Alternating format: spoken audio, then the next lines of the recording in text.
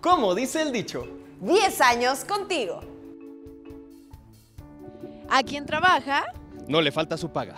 Ay, me encanta como lo dices, Asbel Ramsés con nosotros otra vez. Qué gusto tenerte aquí. ¿Cómo estás? Muy bien, ¿y tú? Muy bien, muy contenta. Lo que no estoy contenta es el personaje que nos vas a interpretar el día de hoy en este capítulo. ¿Qué onda contigo?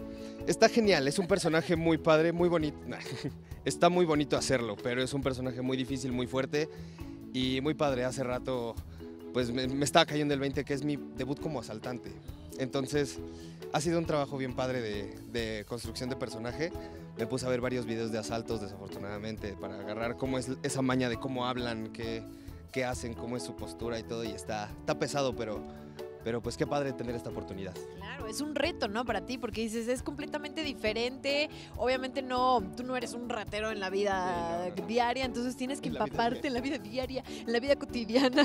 Entonces tienes que empaparte como de este, de este estilo y no de ser nada fácil tampoco. No, nada fácil, ni físicamente, ni emocionalmente, ni nada. Todo pesa, todo pesa, pero al final todo suma. ¿Qué puede pasar por la mente de un ratero? Yo creo que la necesidad de conseguir dinero para su familia, yo creo que ese es como lo, lo primero. Incluso vi un video en donde a una niña no le hacen nada, y eso está bien raro por desafortunadamente todo lo que estamos pasando, pero que dicen así como de, empiezan a saltar, dicen, dame tus cosas, dame tus cosas, a la niña no me la toques.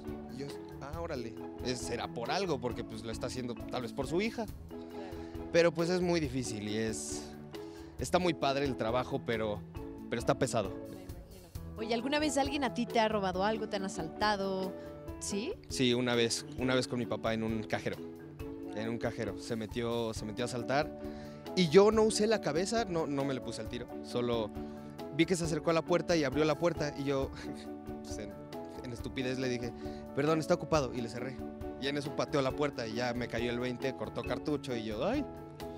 Y Ya, pero pues todo bien, no pasó nada. Lo importante es que seguimos aquí, seguimos trabajando, seguimos felices. Claro, afortunadamente, Y ¿no? el dinero viene y va, viene y va. Exactamente. Oye, ¿y qué precauciones podemos tener o qué precauciones le podrías dar como consejo a la familia del dicho para no llegar a, a estar en riesgo en una situación así, ¿no? ¿O qué cosas podemos hacer nosotros? Ok, yo lo que siempre hago, un consejo para la familia del dicho, no saquen su celular en lugares peligrosos, estén siempre alertas a quién los está viendo, quién los está siguiendo, quién, lo que sea, y no tengan miedo de pedir ayuda.